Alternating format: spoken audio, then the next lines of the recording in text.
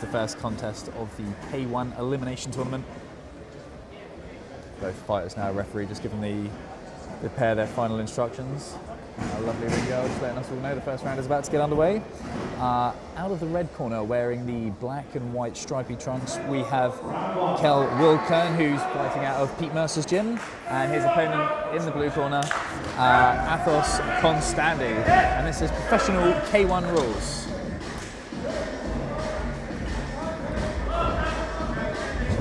Strong looking turning it coming in there from Wilkin.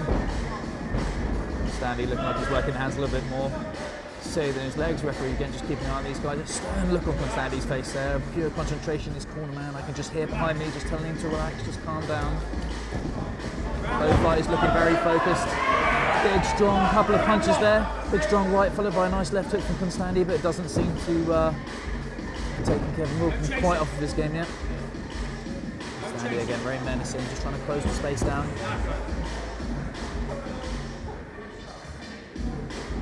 A little bit of blood there now starting to appear on the face of Wilkin. Again, Konstandi kind of coming in with these kind of front push kicks, right turning kicks, but then really unleashing the power. The, the most dangerous part of his arsenal at the moment definitely looks from his hands. Both of these fighters again just kind of feeling each other out, trying to get comfortable with each other, just settling down into the pace.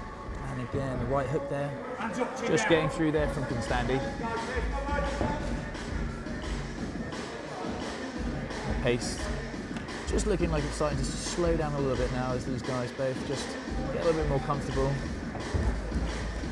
Little barrage of shots, nothing really getting through from Konstandi there, just all hitting the guard of Wilkin. Strong looking right turning kick there to the midsection from Wilkin.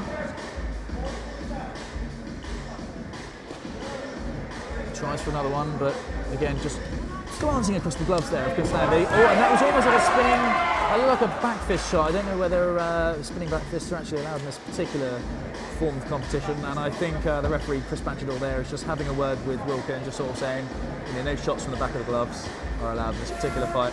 And that's the end of the first round. Cracking stuff.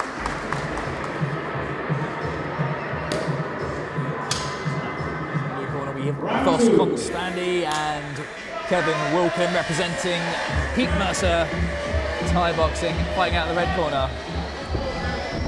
And again, that steely look in Konstandi's face.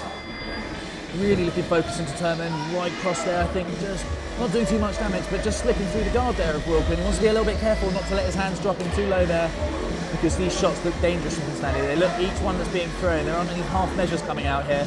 There's no feeler shots. Every single shot looks like it has the potential to end the fight. So Wilkin really do well to keep his hands nice and high, not let them slip too much. They're quite low, looking quite relaxed at the moment. Again, referee here just ushering these two to uh, pick up the pace somewhat. Wilkin, although he's looking relaxed, kind of dancing his hands a little bit about, he, he, he does also seem a little bit hesitant to actually engage his opponent, and he's complaining with a bit of a low blow. I'm not quite sure that I saw anything there, but um, perhaps I missed it.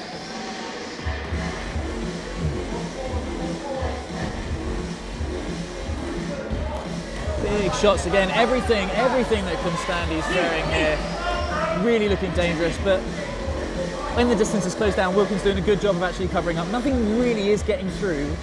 I think when he's feeling comfortable and he's got a nice distance between himself and his opponent, nice low kick there, just landing there on the uh, on the outer thigh of Konstandi, and you really want to be careful not to let too many of those low kicks get through. Straight away, I think, oh, solid shot there landed from Wilkin. That, that took Kevin back a bit, and that you can hear the momentum in the crowd. You know, they sort of starting to sense that maybe that can be built on, but I don't think it's put left Konstandi in too, too much trouble. The point I was making earlier, if you look on the outside thigh of Konstandi, he's only taken a couple of shots and already you can start to see the damage and the welting starting to appear there. You can already see the bruising, and then there's another low kick now. If you're not blocking enough of these low kicks, there's only several you can really take on the thigh before moving around becomes a bit tricky. So you really just needed to kind of check those kicks and not let them get through, and that's the end of the second round.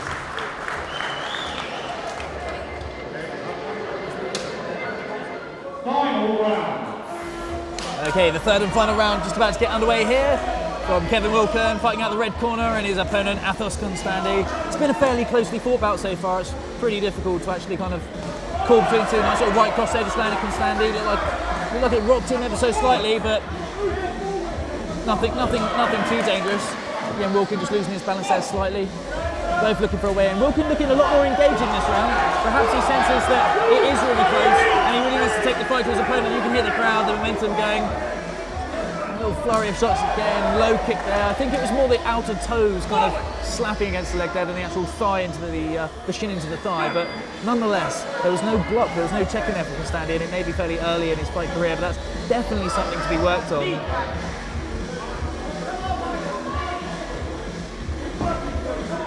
Wilkin looking for a way in with those front kicks.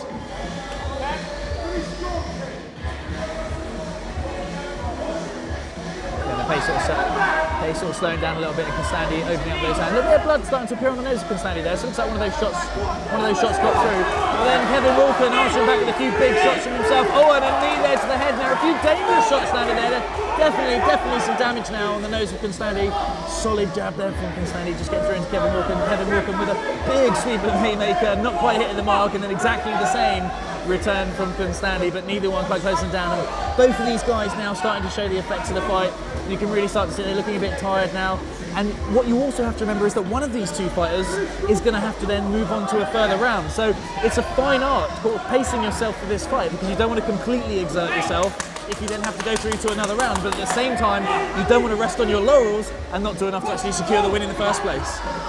So both of these guys definitely looking like they're slowing down, really reaching optimistic kick there. Just way too much distance, telegraphed and coming from miles away. Never really going to be any danger of doing uh, too much damage or perhaps even hitting their opponent there. And that's the end of the third round. And uh, it's going to be a tough one to call, I think. After an incredible three rounds of professional K1 action, the judges have reached a majority decision. So please put your hands